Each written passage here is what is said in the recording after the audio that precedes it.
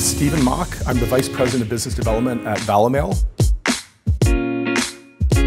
Valimail stops modern impersonation and phishing attacks. What's different about these modern attacks is that the emails, um, there's no virus, there's no attachments, there's no bad links. There's nothing wrong with the emails themselves, except that the sender is not who they say they are. So if you look at the underlying filtering technology in O365, it'll catch malware and bad links and all that stuff, but it'll actually miss these types of impersonation attacks.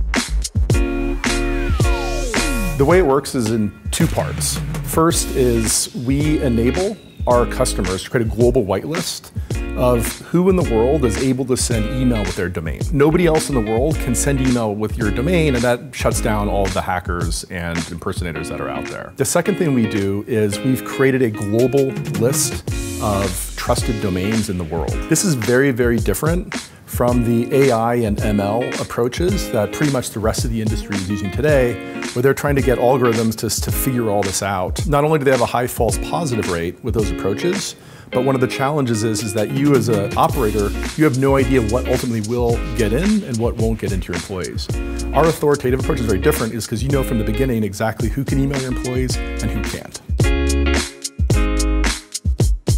We integrate with Office 365 by providing an additional layer of security to stop these impersonation attacks. All that a customer has to do is they go in and um, make one change into their DNS and DMARC. Um, this is all based on DMARC standard. It takes about five minutes. And then that gives us full visibility into seeing all these types of attacks on a global basis. With that information, we're able to see a global view of all uh, malicious email senders using their domain. We're able to see third parties that are um, using the domain. These are people, big companies like um, that you've heard of like MailChimp and SendGrid and big emails like that. There's also thousands of smaller ones um, like Zapproved and other ones that you may or may not have heard of.